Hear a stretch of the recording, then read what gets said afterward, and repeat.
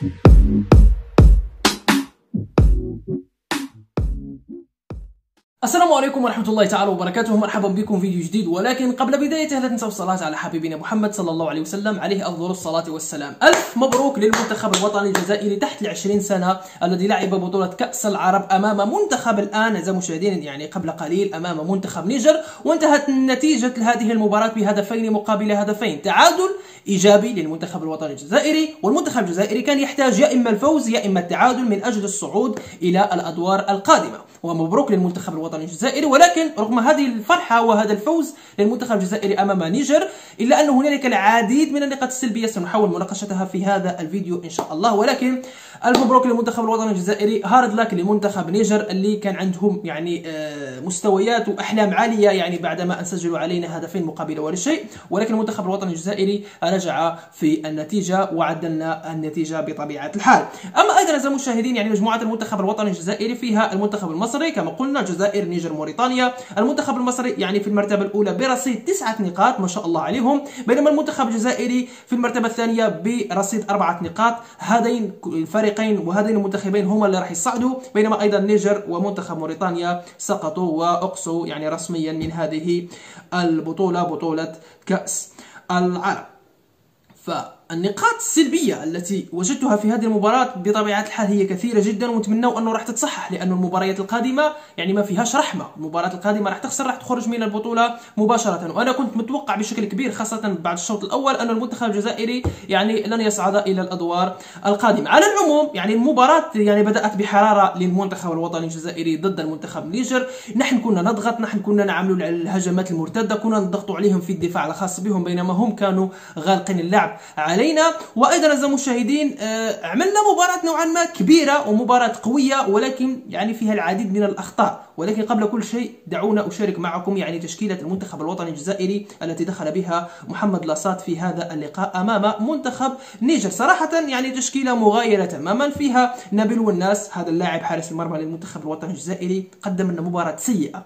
كان عنده حضور فوق ارضيه الميدان كان عنده ارتقاء عالي ولكن يعني الهدفين جاء بسبب هذا اللاعب وأيضا خط الدفاع الذي سنتكلم عليه بعد قليل. بينما أيضا عندنا فايل احمان احمان فايل بطبيعة الحال عملنا معه interview كان مصاب هذا اللاعب تم تعرضه للإصابة مجددا وخرج يعني في هذه المباراة. صلاح بن دريس ريان دحليس مهدي توانتي محمد زقاي وأيضا مصيل أجعودي سامي محور وأيضا أمين سعيد عصام بوعون فيها بعض اللاعبين أعزائي المشاهدين ما كناش شفناهم في المباريات الماضية فلهذا كانوا جديد المنتخب الوطني الجزائري وجديد تشكيلة المنتخب الجزائري في هذه المباراة. وعلى أي نزام مشاهدين آه، النقاط السلبية التي ما زلت أراها هو أنه التمرير التمرير لاعبي المنتخب الجزائري ما زال لا يجدون التمرير بينهم صحيح. يعني ما زالت التمريرات نوعا ما ليست صحيحة. ولكن هنالك نوعا ما إذا شاهدتم المباراة نوعا ما تحسن تحسن طفيف جدا بين مقارنة بين المباريات الماضية أمام موريتانيا وحتى منتخب يعني مصر. اللمسة النهائية دائما لا تكون واضحة للمنتخب الوطني الجزائري واللمسة النهائية يعني شبه منعدمة للمنتخب الوطني الجزائري في هذا اللقاء للأسف الشديد. وأيضا الهدفين الذين سجل علينا يعني آه، كان قادر حارسة المرمى يتفوق عليهم ولكن حتى الدفاع ما كانش يعاون هذا اللاعب ما كانش يساعد هذا اللاعب بمهاراته. فالدفاع كان سيء اليوم. من ناحية آه، رأيي الشخصي الدفاع كان سيء جدا على جميع الأصعدة. فقط يعني الظهير الأيمن آه، اللي عملت معاه يعني كما نقول انترفيو ليلة أمس كان عنده مستوى جيد ولكن عندما تعرض للإصابة يعني خرج واستبدل وطبعا أصبح فريق المنتخب الوطني الجزائري في خط الدفاع يشكل يعني ثغرة كبيرة على مرمى المنتخب الوطني الجزائري.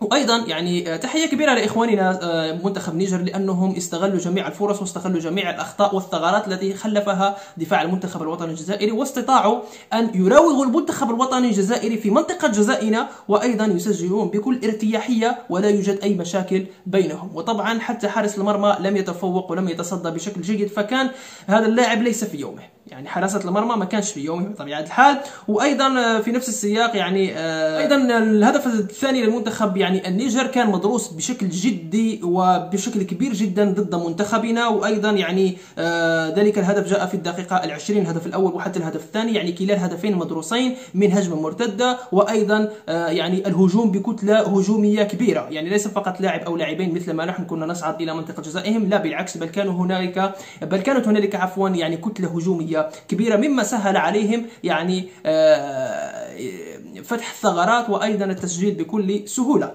بينما أيضا منتخب نيجر كان منظم حتى في الخط الدفاع. كان منظم في خط الدفاع والمنتخب النيجيري والمنتخب نيجر كان أيضا يعني ساهم في قطع العديد من الهجمات المرتدة للمنتخب الوطني الجزائري. واللاعبين اللي تألقوا حسب رأيي في هذا آه، اللقاء هو يونس أيت عمر صاحب ال assist عندنا اللاعب أعزائي المشاهدين الذي سجل الهدف الأول والثاني. أما أيضا عندنا جعودي ماصيل واللاعب الثالث أعزائي المشاهدين هو آدم دوغي. طبعا الهدف الأول جاء من تمريره حاسمة يعني وليس بتمريره حاسمة بل بتمريرة من أجعود مصيل إلى نجمنا الجزائري يعني آه، آدم دوغي. وأيضا من آدم دوغي يعني سدد الكرة وارتطمت في دفاع المنتخب النيجر. وأيضا دخلت الشباك وذلك حسب خطأ يعني من آه، دفاع الخصم أي دفاع المنتخب نيجر. بينما أيضا اعزائي المشاهدين الهدف الثاني جاء كما نقول من تمريره حاسمة من يونس أيت عمر إلى آدم دوغي في الشوط الثاني. وأيضا اعزائي المشاهدين يعني في الدقائق الأخيرة من عمر المباراة. أنا مانيش عارف علاش المنتخب الوطني الجزائري يجي حتى اللقطه الأخيرة والدقائق الأخيرة من عمر المباراة بعدما أن يكون الخصم يكون مرتاح ويكون مطمئن باللي أنه راح يفوز وراح يصعد في يعني الأدوار القادمة ويأتي المنتخب الوطني الجزائري ويعني يحطم جميع أحلامه. وكما شفتوا اعزائي المشاهدين يعني حسره كبيرة جدا من لاعبي منتخب نيجر بعد تلقيهم الهدف الثاني والتعادل. لأنه نيجر كانت عندهم يعني نية الفوز وإذا ما راحش يفوزوا راح يقصوا مباشرة فالتعادل لا يصلح لمنتخب نيجر فكان لازم عليهم يفوزوا أمام المنتخب الوطني الجزائري. وطبعا يعني يستحقون العلامه الكامله في الشوط الأول ولكن لاعبي المنتخب الوطني الجزائري الذين دخل في الشوط الثاني كل من يعني يونس اي تعمر وأيضا آه، آدم دوغي قدموا لنا مباراة كبيرة. فآدم دوغي يستحق رجل المباراة بما أنه آه، يعني الهدف الأول جاء يعني بعد لمسة من هذا اللاعب آدم دوغي والهدف الثاني جاء من آدم دوغي نفس اللاعب والذي هو يعني يستحق العلامه الكامله ويستحق رجل اللقاء. بينما أيضا اعزائي المشاهدين كانت هنالك في بين قوسين العديد من النقاط والعديد من يعني الفرص الضائعة للمنتخب الوطني الجزائري. آه كرأي شخصي مني نحن كنا أفضل من منتخب نيجر. المنتخب الجزائري يعني منطقيا كان أفضل من المنتخب نيجر من ناحية الفنيات من ناحية يعني آه, آه، العديد من النقاط العديد من النقاط ومن ناحية الاستحواذ على الكرة من ناحية الضغط كنا أفضل من المنتخب نيجر. ولكن النقطة السلبية كما قلنا هي الأنانية نوعا ما في التسديد نحو المرمى ما يلعبوش مع آه بعضهم البعض ما يلعبوش بشكل جماعي مقارنة بمنتخب نيجر. بينما أيضا يعني كما قلنا التمرير ليس بصحيح يعني التمرير دائما فيه مشاكل فنتمنوا ان المنتخب الجزائري هو نعم راه في تحسن ولكن نتمنى المنتخب الجزائري في الأدوار القادمة. يعني ما راحش نزيدوا نواجهوا هذه المشاكل. لازم التمريره تكون صحيحة بين اللاعبين ولازم يتفاهموا فوق أرضية الميدان. فهذا ما أتمناه شخصيا. وكما قلنا يعني كانت هنالك العديد من الفرص ولكن اللمسة الأخيرة يعني كانت شبه منعدمة إلا في حالات نادرة. وتلك الحالات النادرة هي التي يعني صنعت التعادل في هذا اللقاء وصنعت يعني المنتخب الوطني الجزائري ورسمت صعوده بطبيعة الحال.